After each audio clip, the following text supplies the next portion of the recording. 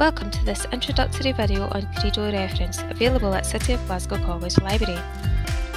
We are now logged in to access over 800 full-text books such as dictionaries and encyclopedias.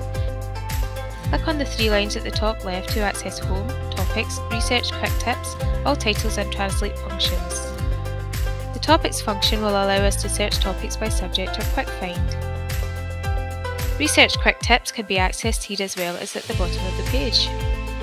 All Titles gives us a full list of titles and videos available, searchable by various parameters. We can translate the base text of individual articles into different languages. Using the search bar, we can search for a subject or browse popular research topics. We are going to look at a popular topic under environmental science. We can save our page link at the top right of the page for future reference.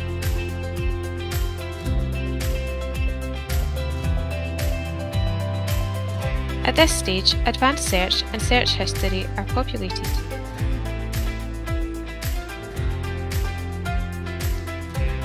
Within the Climate Change tab, we can view articles and images.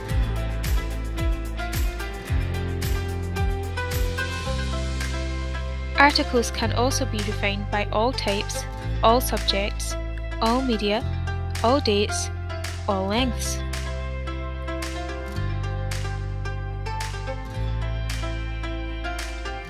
We select an article. From this article, we can save, cite, print, share, read aloud, translate into another language. Images will show us the images available for our chosen topic.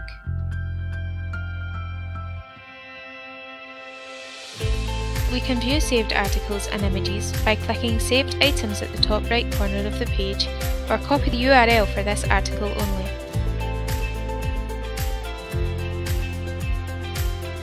Suggestions for more library resources appear on the right hand side of the page. Clicking on the Credo logo will take us home to the main web page. This video has given you an overview of Credo reference, but if you have any further questions, please contact the library at library at cityofglasgowcollege.ac.uk.